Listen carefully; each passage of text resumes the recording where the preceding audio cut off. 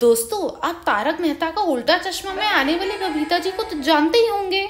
हाँ वही बबीता जी, जिन्हें देख के चेतेलाल का दिल बाग बाग हो जाता है। लेकिन क्या आप उनका असली नाम जानते हैं? उनका असली नाम है मुनमुन दत्ता।